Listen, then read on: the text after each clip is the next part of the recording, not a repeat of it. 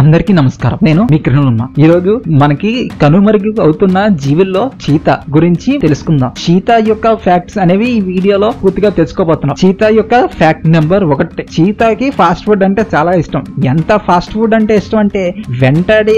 జీవిని వెంటనే వేరే జీవి వచ్చేస్తుందో ఏ యొక్క ఇబ్బంది అవుతుందో అని చెప్పి ఈ యొక్క చీత అనేది వెంటనే తన యొక్క ఆహారాన్ని అక్కడి నుంచి